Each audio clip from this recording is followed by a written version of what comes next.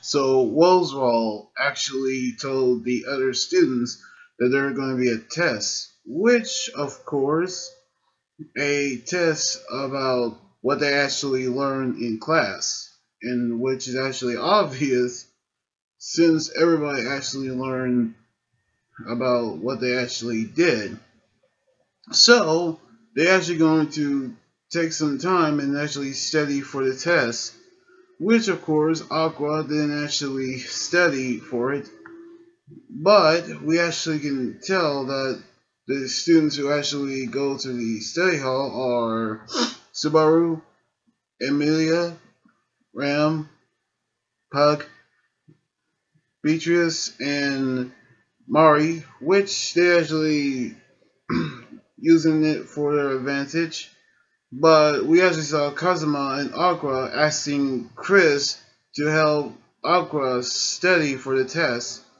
In light of which, we all knew what she's going to do with the test. But when the day of the test actually started, we actually know that Ainz going to use his time stop spell to actually stop time so he can actually look at other answers. But we actually saw Aqua not actually, actually not frozen, in which she actually took this advantage to look at other test answers, which I never thought that she would actually actually still moving around during the time stop spell because she is a goddess in which he felt very ashamed of actually trying to cheat, which he actually is. But I'm not actually condone anything. But we actually saw Tanya actually not frozen as well.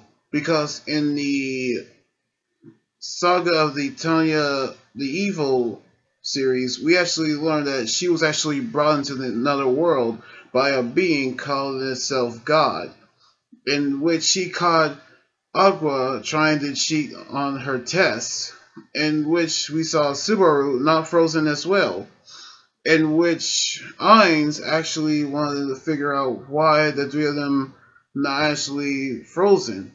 So he actually undo the time stop spell, which Tanya and Subaru actually gone back to their seats before somebody actually noticed something strange but Aqua was actually caught by Roswaal and actually was told to stand in the hallway.